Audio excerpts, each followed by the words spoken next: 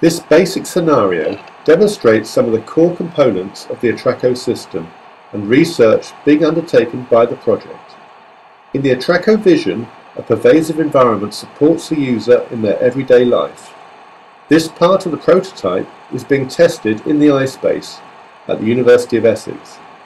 This is a purpose-built living laboratory which enables us to deploy services within a pervasive computing infrastructure and carry out rich evaluations of the user's experience within this environment.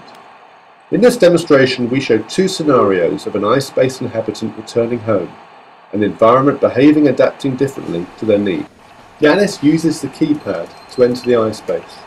The Atraco Sphere Manager is activated and the fuzzy task agent adjusts the lights and the heating. The interaction agent starts playing music and provides multimodal interfaces to control the environment. Currently the user can either use a touchscreen interface or speech commands. Available tutorials are presented by an animated agent. The user selects one and the agent appears, explaining the functionality of the system. Yanis can skip to the following music track using the next button. This event is retrieved by the interaction agent, which translates it into a command to the remote music player. Here Yanis stops the music using the speech interface provided by the interaction agent. Stop music. Here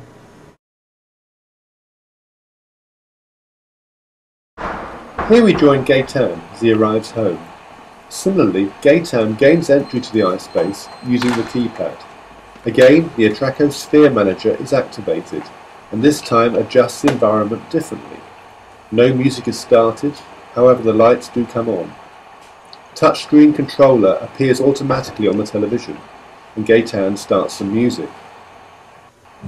He sits down on the couch and turns off the controller screen and switches off the lights using voice commands. Turn off the screen. And switch off the lights.